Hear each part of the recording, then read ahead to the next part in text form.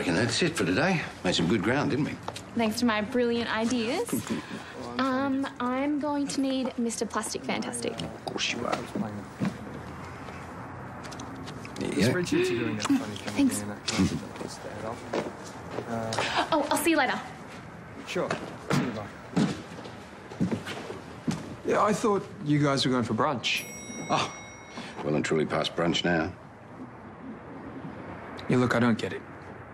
It was all just business between you and Courtney before Terese showed up, and suddenly you're all over each other. Are you only with her to stick it to Terese? No.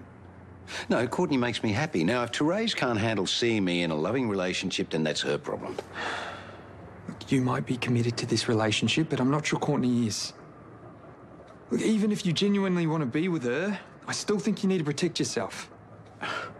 I don't know what's worse, you thinking that I can be taken advantage of, or your low opinion of my fiancée. Have you spoken to her about a prenup? Where did that come from? She hit on me. Oh, Leo.